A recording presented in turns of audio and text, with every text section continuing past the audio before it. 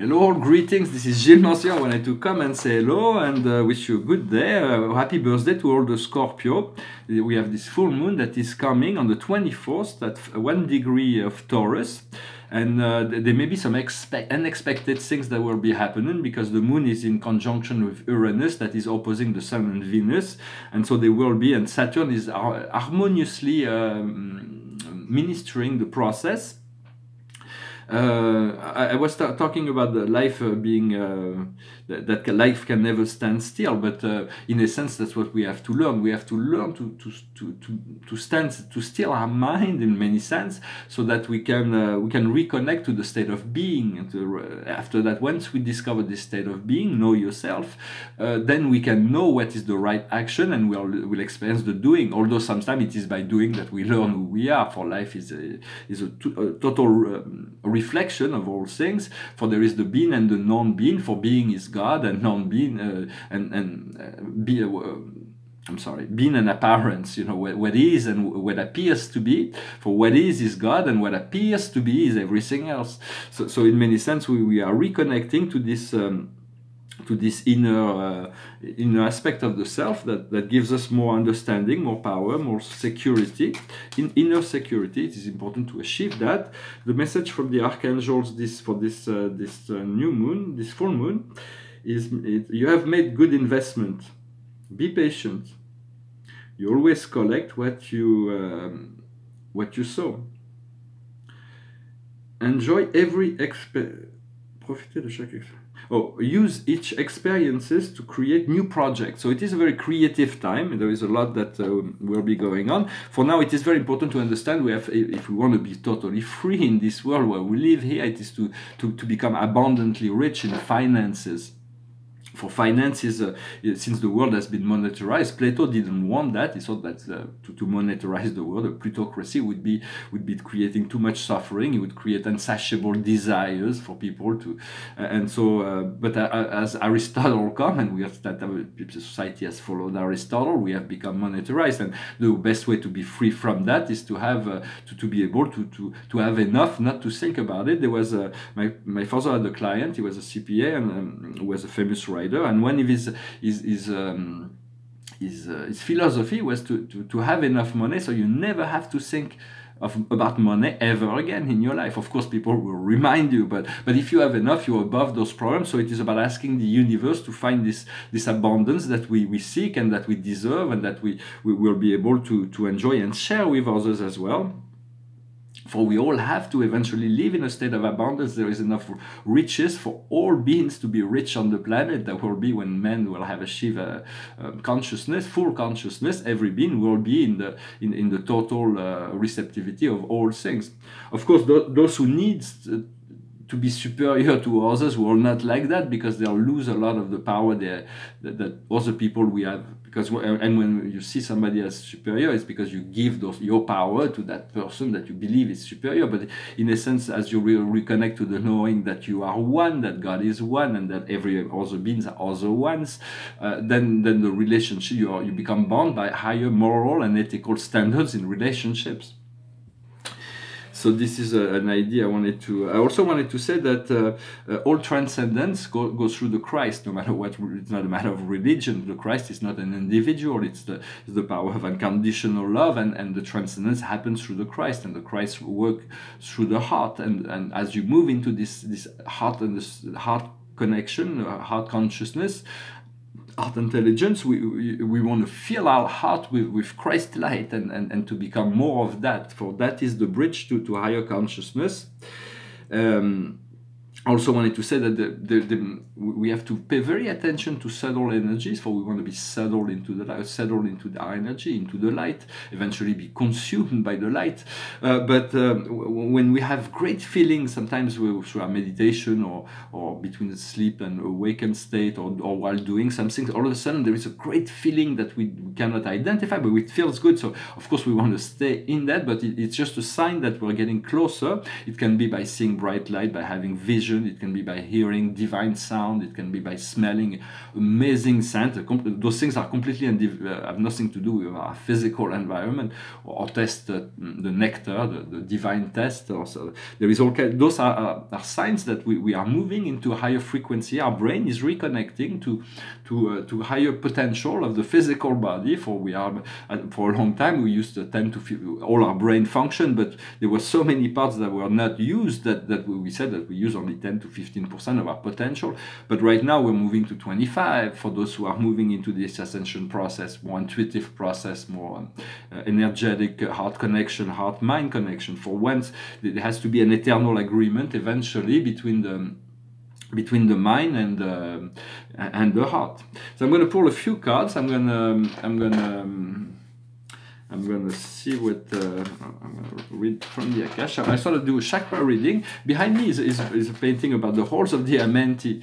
Below the, the, the pyramid of uh, the, the, Great Pyramid in Egypt, there is this place called the halls of Amenti, where the, the, the, human souls go after death, so they can they can figure out their next plan of evolution. It is supervised by higher beings, and here it is. Uh, so, so, it is symbolic of that. And, and here we have the the whole uh, central universe paradise, the 21 satellite of paradise and the central universe, which was the, original model of perfection. Then God created the cosmos with all those many universes. But this, this those so and it's holding this frequency of eternity in many sense and but we we uh, we have to as we become receptive new memories will come to us. It's not always easy to figure it out to to put it into a rational understanding those memories because they don't always come with uh, so sometimes it's uh, we have to be patient and let uh, let the flow come in.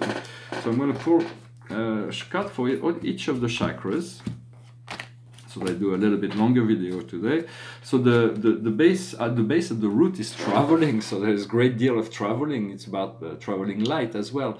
Um, so the, more, uh, because sometimes we feel like if we go somewhere, we'll, uh, um, we can solve certain things by leaving the certain, but we, we take all our energies with us, so it's better to be as clear. And, but it's also be, being ready to, to, to, to, to make quantum leaps, to, to be, um, to be, um, to be attached, to be able to have so this freedom to be able to travel, whether it is in the spirit or is a physical matter as well. What we have on the and the navel, the navel controls all the astral plane, and man has been trying to, the, the man as a, as a gender has been trying to control that sphere of, uh, of the earth's planes, but man is in, completely inadequate with the light. It cannot, it is not like the mother, so the, the power in the future will return to the feminine because uh, this, this chakra is so much well more, is, is handled with so much more grace from the feminine, the power of administration. For the mother is connected to the root and she is the giver, and so, so the man will, will, uh, will be able to, they have to let go of this power in order to move into the heart and let the power, the, the woman have to, to let go of, of, of this heart energy where she feels completely disconnected and return to the root so she'll feel like uh, within this mother energy. Um, well, those are technical, um, maybe technical uh, aspect of the, the, the, the energetic body. Um, on our power center we have men women so that we're transcending gender. It's about integration of the transcendence of gender. That does not mean that we don't have a sexual nature that's completely defined and, and clear and to be clear-minded about our sexual nature but it means to be able to transcend gender and to see that uh, those are just a gift that we god has separated men from women. It's like a gift so that we we can meet each other and find each other. But in, in, the, in the Renaissance, there was a great deal of questioning whether the artist should show nudity or should, should they hide the sex. And um, I don't know why it comes through my mind, so I thought I'd share. Uh, and so the, the idea what they, what they came up with, because they had deep religious censure, uh, the, the, there was a censure, uh, there was, they were censured uh, by the church, uh, so they had to, to, find an equilibrium. And uh, they defined that they understood that the sex was actually the source of all that is good in the world. Everything that we have in the world comes from the result of sexual contact all the beings have we all come from that. But the hands on the other hand the hands should be hidden because the hands is what you, cannot hurt with a sex but you can hurt with the hands you know i mean it's like so so they, so that's how we can we can have those beautiful uh, renaissance paintings that are not always uh, like hidden the, the physical body and in many sense there is a in, in our society there is this uh, this acceptation of violent thoughts and images that's like completely acceptable. Let's feed that to children all day. But sexu- sexuality is like taboo and like ooh, what uh, and, and that that also creates deep trauma and perversion within what the sexuality is a gift from god. It has to be used with respect. But if you don't teach the right uh, the the right relationship to those things, then uh, I mean, uh, I do uh, I do think that eventually violence have to be cleansed from from the from the media, and sex will will be integrated as something that is sacred and part of what we uh, we are. It is a primal nature. We all come from. Uh, in the Quran, Allah said, the man is created from a drop of sperm.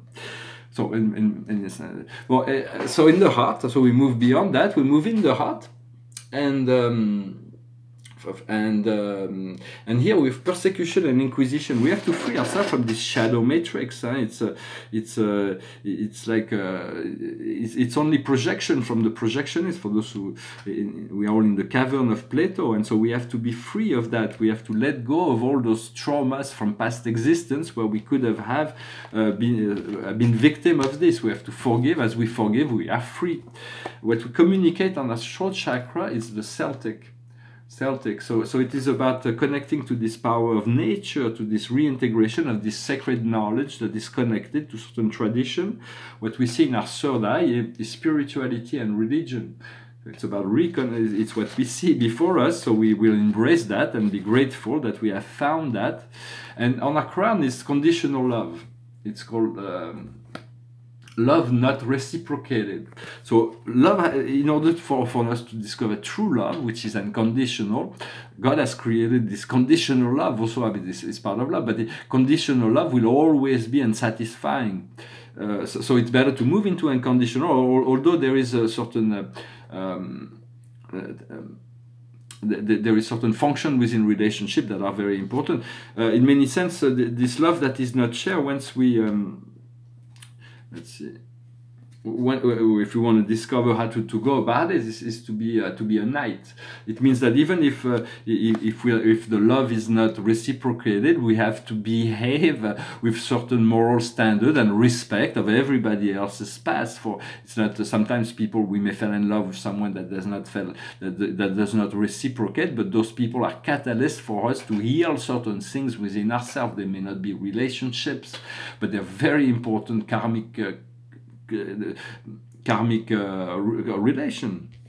What we see before us, in uh, what uh, anchored in the earth and the earth star, is the community life. So it's about it's about uh, creating a global community. Uh, it is really what's ahead of us to to to, to work as one. With uh, there is a great deal that will be changing so that we can move towards this this greater unity. And in terms of our um, of our soul star, we have the karmic relation so it's about accepting what people have to offer but disconnecting from from all the cords that are no longer needed ask the angels for assistance as the masters uh, it is important to um, to let go of those relationships that are not uh, supportive of our highest good. Uh, the universe, there is all kinds of. Uh, the universe is so big, we don't even on Earth of what we know. There are certain human beings that do not live with the same principle, the same value, the same experience. They are lower cycle and they, they are higher cycle. And the more we we know about the invisible world, the more we realize that there are consciousness that are amazing consciousness with. Uh, unlimited uh, cosmic wisdom uh, that uh, that can we can commune and communicate with and, and can exchange with us some precious information. So we work with that. We work with this reconnection for for the heart and, and the mind uh, as they will eventually open up to this uh, this cosmic consciousness. I'm gonna finish with a song uh, I pulled a few cards of that well finish and do like in France. Maybe it's, it's maybe it's too much but what's the highest wisdom for us today is action as a what do we need to understand is responsibility. What we need to do is the higher self. And the general message is to create. I'm not going to comment, it makes sense. I'm going to finish with a song. It talks about letting go, about the mind will never be able to solve the problems of the world, but to be like a bird. It's a French song, it's a nice song. It's about just to be as a bird and to, to let go. Um, goes like this. Fais comme l'oiseau, sa vie d'air pur et d'eau fraîche, un oiseau, d'un peu de chasse et de pêche, un oiseau, mais jamais rien ne l'empêche, l'oiseau, d'aller plus haut. Mais je suis seul dans l'univers, j'ai peur du ciel et de l'hiver, j'ai peur des fous et de la guerre, j'ai peur du temps qui passe, dit.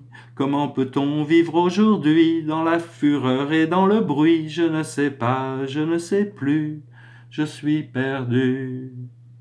Fais comme l'oiseau, sa vie d'air pur et d'eau fraîche, un oiseau, d'un peu de chasse et de pêche, un oiseau, mais jamais rien ne l'empêche, l'oiseau, d'aller plus haut. Mais l'amour dont on m'a parlé, cet amour que l'on m'a chanté, ce sauveur de l'humanité, je n'en vois pas la trace dit. Comment peut-on vivre sans lui Sous quelle étoile Dans quel pays? Je n'y crois pas, je n'y crois plus, je suis perdu.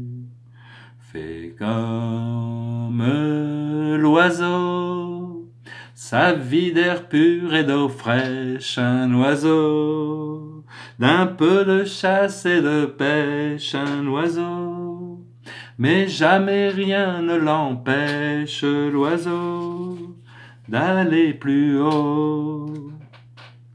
Mais j'en ai marre d'être roulé par des marchands de liberté et d'écouter se lamenter ma gueule dans la glace dit Est-ce que je dois montrer les dents? Est-ce que je dois montrer les bras? Je ne sais pas, je ne sais plus, je suis perdu. Fais comme l'oiseau, sa vie d'air pur et d'eau fraîche, un oiseau d'un peu de chasse et de pêche un oiseau, mais jamais rien ne l'empêche l'oiseau d'aller plus haut. Oh, oh, oh. Yes, the, the bird is free. So sorry, it was, it was a funny. Uh, was a, at the time I, I lost my rhyme and I said I was singing and I am lost. so it was just uh, very funny. Well, I hope you like this video. I wish you a wonderful day. I'll talk to you later. Thank you very much. Namaste.